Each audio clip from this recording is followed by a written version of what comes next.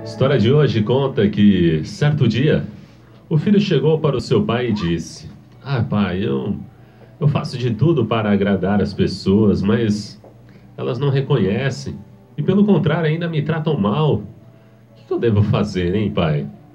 E o pai, muito experiente, se aproximou e disse ao filho num tom mais baixo: Filho, se algum dia você se sentir desprezado pelas pessoas, não se aborreça, não. Se algum dia você perceber que não valorizam os seus esforços para melhorar, não fique nervoso e aborrecido. Isto só lhe faria mal. Se algum dia você se sentir rejeitado pelos homens e esquecido, colocado em segundo lugar, não se aborreça.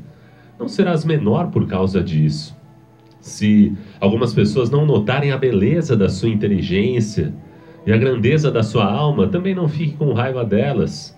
Você não perderá nada por causa disso.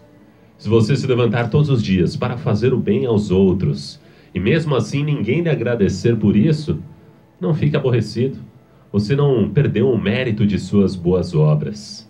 Se você fez um belo trabalho e ninguém o parabenizou e aplaudiu, não fique frustrado.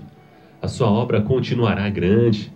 Se você sorri para as pessoas, iluminando a sua caminhada e as ajudando a viver, mas elas não percebem o valor do seu gesto e não lhe agradecem, não se revolte.